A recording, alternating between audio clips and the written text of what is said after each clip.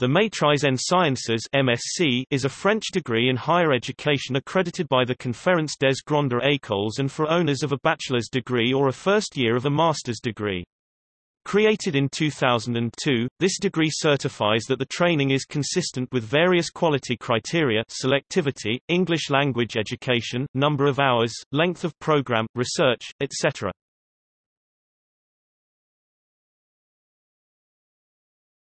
Topic. Presentation.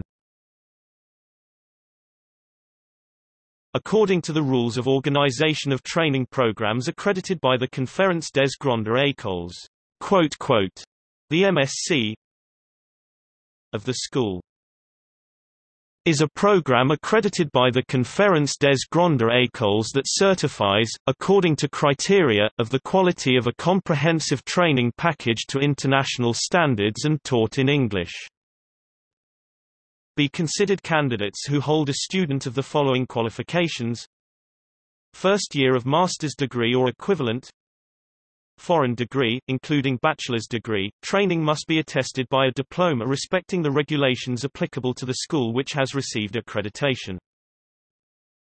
According to the rules, only the school's members of the Conférence des Grandes Écoles may issue the diploma.